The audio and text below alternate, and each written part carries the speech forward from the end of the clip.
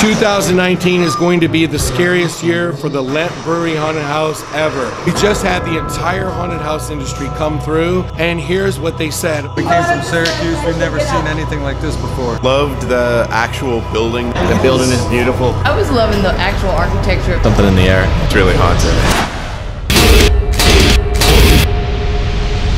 Actors were on point. A lot more actors, a lot more interactivity.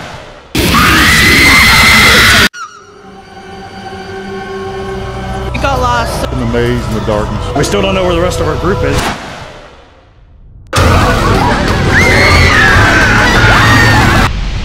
The cold and dampness of it. Something about it. The feel, of the energy of the place. It's just freaking. It's just unreal.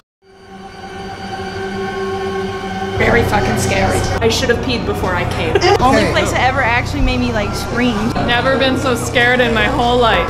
Serious. I was definitely scared. Absolutely terrifying.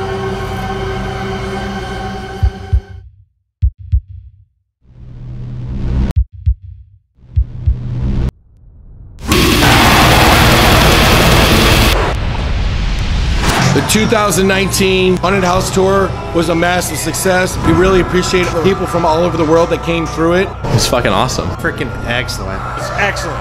Yeah, you can't beat it. It just seems like it's grown exponentially. He was running like a little girl. I didn't It was awesome.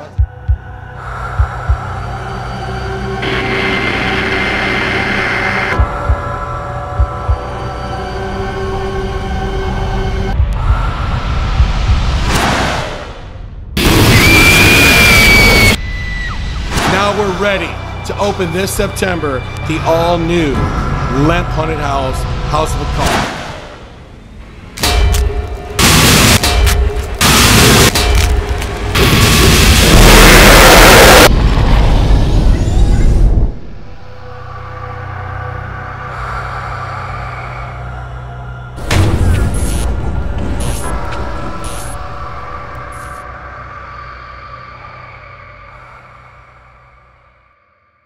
He lost his wife somewhere. She became part of the haunt. For scary videos and more, subscribe to our YouTube page, scarefest.com.